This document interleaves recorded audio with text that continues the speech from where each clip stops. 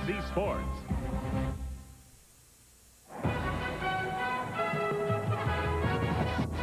ABC Sports College Football, the 1994 Southeastern Conference Championship game, presented by Dr. Pepper, matching the Alabama Crimson Tide and the Florida Gators. The third SEC title game since the conference expanded into divisional play. Alabama winning the West, Florida the East. Alabama won this title in 1992, Florida in 93. Both those games were played in Birmingham. Today we're in the Georgia Dome in Atlanta, Georgia.